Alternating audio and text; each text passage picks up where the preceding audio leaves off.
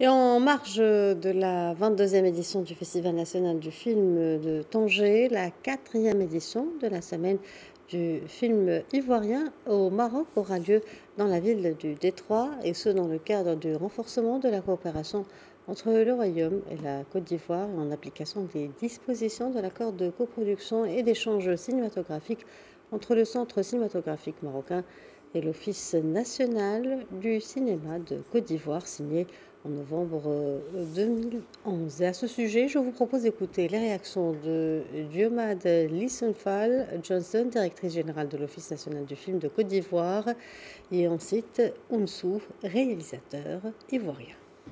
Il faut dire que ce n'est pas la première édition. Nous sommes à la quatrième édition. Mais depuis deux ans, à cause de la Covid, il n'y a pas eu de festival. Donc cette année, nous sommes très heureux que cette coopération puisse reprendre pour le bien du cinéma africain. C'est un échange. Nous vous apportons quelque chose, comme nous venons prendre aussi chez vous. Vous venez aussi nous apporter quelque chose en année paire. Nous venons chez vous en année impaire, vous nous rejoignez pour que le cinéma puisse aller de l'avant. Donc nous sommes là pour cela et nous vous remercions pour votre accueil. Nous sommes chez nous. Nous sommes chez nous. Merci pour tout. Merci à monsieur le directeur. Merci à toute l'équipe qui nous accueille aujourd'hui. Nous ferons nous nous ferons le plaisir de vous montrer ce qui se fait en Côte d'Ivoire. Le cinéma ivoirien est en pleine expansion et depuis quelques années avec euh, le soutien de l'État de Côte d'Ivoire et notamment avec euh, les accords bilatéraux qu'on a avec certains pays comme le Maroc.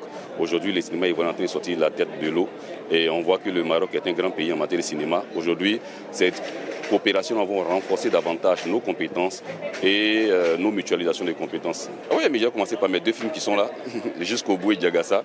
Et j'ai hâte de, de, le montrer au public marocain. Et comme je dis, le savoir-faire du, du Maroc n'est plus à démontrer.